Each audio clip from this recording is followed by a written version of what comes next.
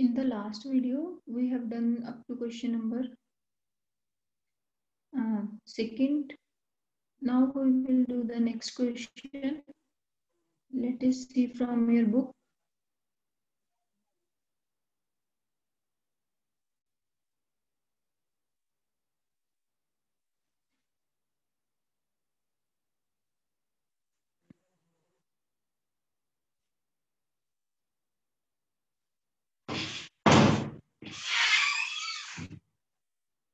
And the next question is question number five.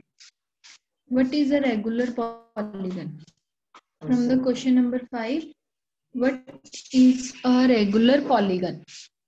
Regular polygon क्या होती है आपके पास state the name of a regular polygon सबसे पहले हमने पहले भी डिस्कस किया था what is a regular polygon regular polygon is a polygon that is adjointed by a straight line is a adjointed by a straight line. ठीक है जी?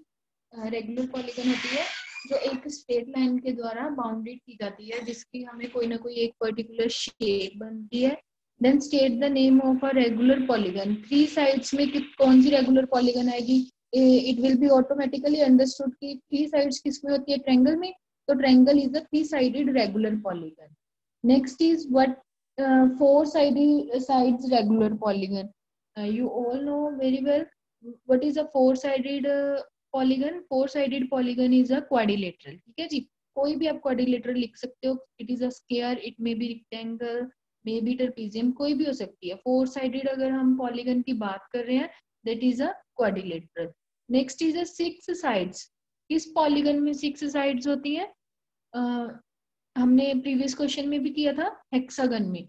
Hexagon having six sides so a regular polygon with a six side is a hexagon ठीक है जी?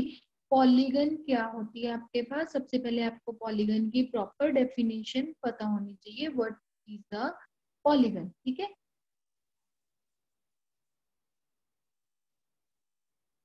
What is the polygon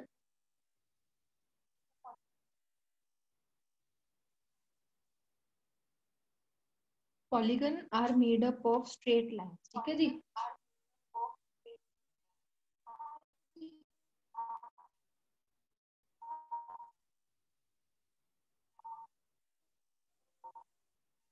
Polygons are made up of straight lines and the shape is close कोई भी एक figure है जो straight line से बनाई जाती है और फिगर क्या होती है क्लोज्ड होती है that is a polygon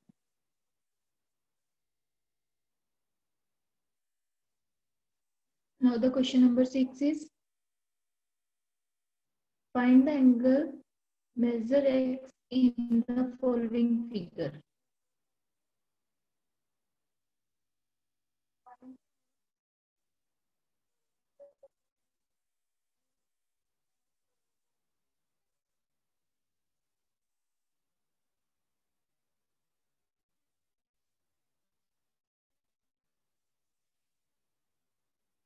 First question आपको एक डायग्राम नज़र आ रहा है। फर्स्टली क्वेश्चन हम ये करते हैं। This is a polygon which one is a poly, which type of a poly polygon is this? This is a ठीक है जी? पहली बात, ये पॉलीगन है। कैसे पता चली? स्ट्रेट लाइंस है और फिगर क्या है? इसका एक एंडिंग पॉइंट है। क्वाड्रिलेटरल में थ्री एंगल्स की मेज़रमेंट गिवन है फोर्थ को उन्होंने एक्सेस करेंगे सॉल्व करके देखते हैं इसको first question first question is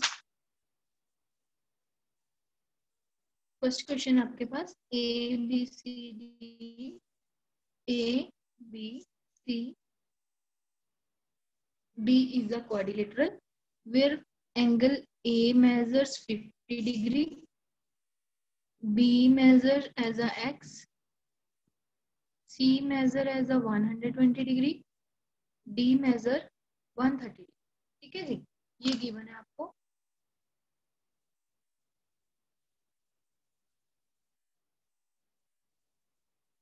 इसमें हम x की वैल्यू कैसे find out firstly solution start करते हैं।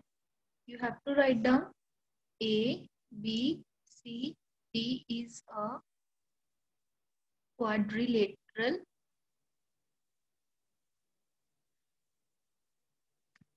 where angle A is equal to 50 degree. Angle B X. Angle C is equal to 100 degree. Angle D is equal to 130 degree.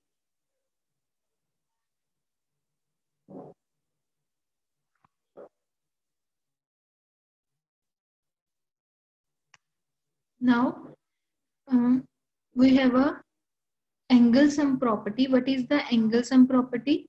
Sum of all angles of a quadrilateral is 360 degree. So therefore, we can write angle A plus angle B plus angle C plus angle D is equal to 360 degree. Put the values A is equal to 50 degree, B X, C 120 degree, D 130 degree, 360 degree. Now solve it. One twenty और one thirty को हम add करेंगे. Fifty और one twenty को add किया हमारे पास आएगा zero seven one seventy degree plus one thirty plus x as it रहेगा is equal to three sixty degree one thirty और वन सेवेंटी को ऐड किया ज़ीरो थ्री और seven ten three hundred degree plus x is equal to three sixty degree हमें x की value find out करनी है। Three hundred left side है, इसको हम राइट right में लेके जाएँगे। लेफ़्ट में ये प्लस क्या जब इसको राइट right में लेके जाएँगे, ये नेगेटिव का हो जाएगा। X is equal to three sixty degree minus three hundred degree तो एक्स की वैल्यू आ जाएगी हमारे पास थ्री सिक्सटी में से थ्री हंड्रेड माइनस करोगे that is sixty degree x की वैल्यू फाइंड आउट करनी थी x is equal to sixty degree ये आपका आंसर है। ऐसे क्वेश्चंस को आप ऐसे सॉल्व कर सकते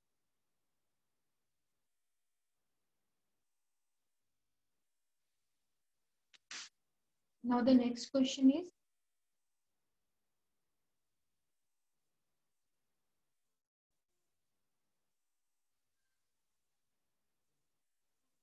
question number B question number B में भी हमें एक क्वारिलेटरल गिवन है, ठीक है जी? कोई भी आप इसको नेमिंग कर सकते हो A B C D naming कर सकते हो आप इसको। और एक्स की वैल्यू फाइंड आउट करनी है, इसमें टू एंगल्स मिसिंग है। ठीक?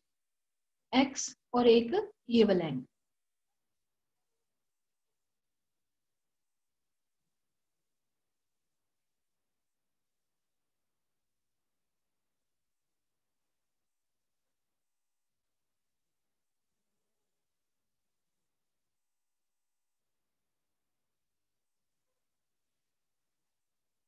नेमिंग करेंगे इसको हम। ए बी सी और डी ठीक है जी? पहले हमारे पास क्या आ गया? A B C D is a coordinator लेकिन यहाँ पे हमारे पास एक प्रॉब्लम है। इन द फ़र्स्ट क्वेश्चन आपको थ्री एंगल्स गिवन थे। एक फाइंड आउट करना था 360 में से तीनों का सम आपने माइनस कर दिया तो आपके पास एक की वैल्यू आ गई। But here we have two angle missing हमारे पास टू एंगल्स मिसिंग है, ये 70 है दिस वन इज़ 60 बट ये एंगल फर्स्टली हमें फाइंड आउट करना पड़ेगा। इसके लिए आप, इन्होंने आपको हिंट दिया हुआ है। यहाँ पे एक आपको छोटा सा स्केयर नज़र आ रहा है। इसका मतलब होता है कि ये एंगल आपका 90 डिग्री का है। ठीक है जी? एंड दिस ये आउट डी का आउटर एंगल 90 डिग्री का है। हमने इनर एंगल फाइंड आउट करना है। तो यहाँ पे हम एक स्ट्रेट लाइन की प्रॉपर्टी लगाएँगे। क्या लगाएँगे? Look C D is a straight line where sum of two angles two angles of a straight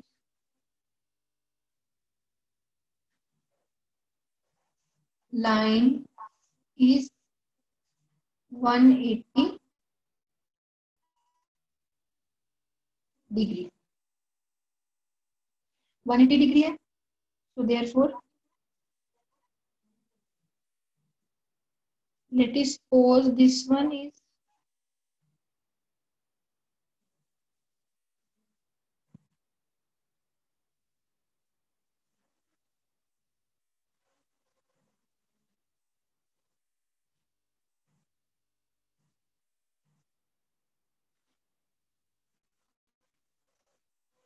take it as an angle. 1 take it as angle. 2 now we can write angle 1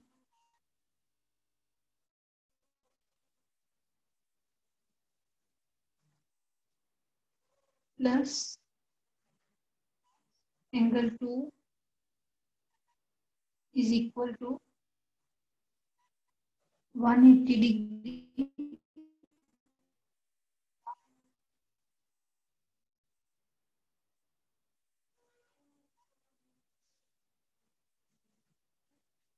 Ninety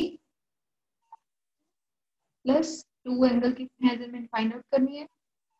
Is equal to 180 degree enter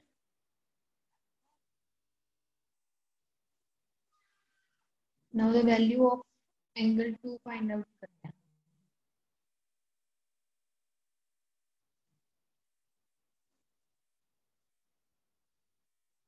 This is an angle AW.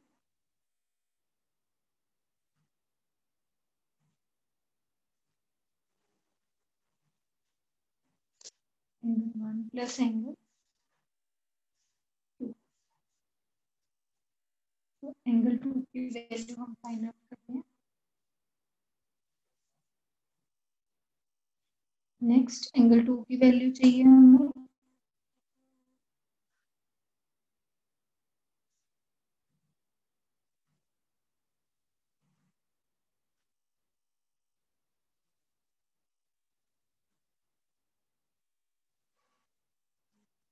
So, the angle 2 is equal to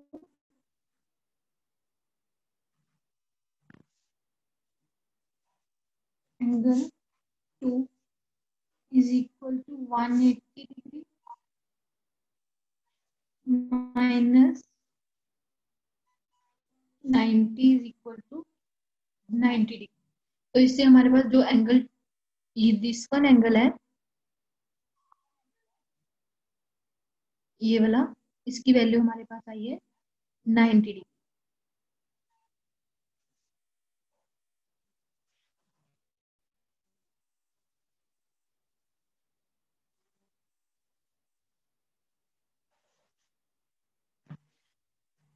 अब हमारे पास ये previous question हो गया. Angle A x है. B seventy degree C sixty D ninety x की value find out करनी है. Same आप एंगल सम प्रॉपर्टी लगाओगे उसके ऊपर नेक्स्ट कैसे आ जाएगा? एंगल सम प्रॉपर्टी लगाओगे जब? We can write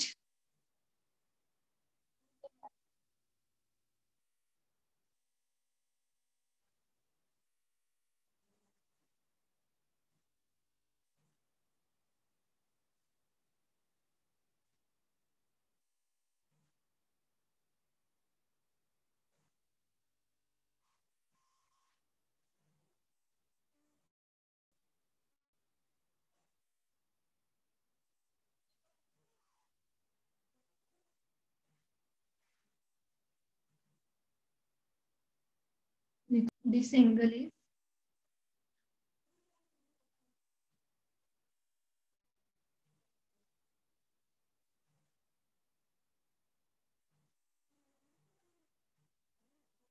ये एंगल हमने 90 डिग्री का फाइंड आउट किया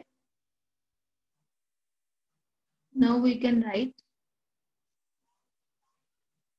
this is a A this is a b.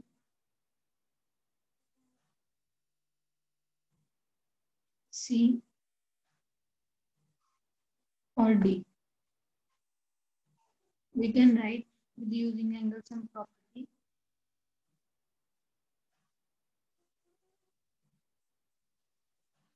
Angle A plus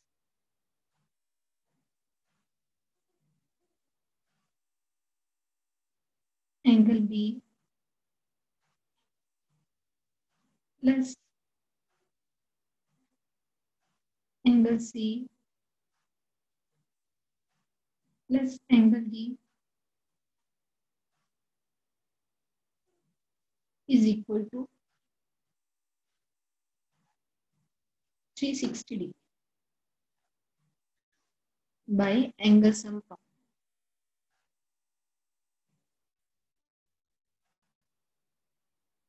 Now put the values. Angle A is equal to हमें x given है। Plus B की value 70 degree plus C की value 60 degree plus D की value 90 हमने find out की है। Is equal to 360 degree solve भी takes की वैल्यू फाइंड आउट करनी है एक्स ऐसे कैसे क्या जाएगा 70 प्लस 60 प्लस 90 कितना हो जाएगा? 70 प्लस 60 130 130 प्लस 90 कितना आएगा आपके 220 is equal to 360 x x की वैल्यू चाहिए 220 हमारे पास extra left left hand side में। लेफ़्ट में है तो इसको राइट में लेके जाओगे। लेफ़्ट में 220 प्लस के राइट में लेके जाओगे नेगेटिव का हो जाएगा। X is equal to 360 degree minus 220 x की वैल्यू आएगी हमारे पास। एक्स इज़ इक्वल टू 360 में से 220 माइनस करोगे कितना आ जाएगा? काउंट करो 360 माइनस 220 दैट इज़ 140